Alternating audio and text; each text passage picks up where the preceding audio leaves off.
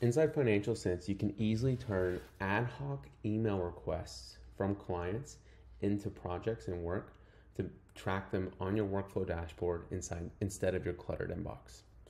So in this example, a client has just recently sent me an ad hoc email request, right? They are asking me to update the address for their LLC. So instead of trying to manage this in your cluttered inbox, you can create it into a project. As you can see, it says ad hoc email request. You can add some information. Maybe it's, for example, um, update LLC. It's for a client, Adeline Collins. Right now it's set to delegate to me, but maybe I want to delegate this to Mary on my team. I can, and myself if I want to include us both. And then you can complete the work. So now this is a project on my workflow dashboard. As you can see, is for Adeline Collins, ad hoc email request, assigned me to Mary. I didn't give it a due date, but you can do that as well.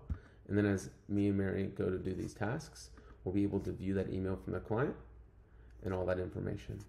And this is how you can easily turn an email into a project inside Financial Cents with our inbox.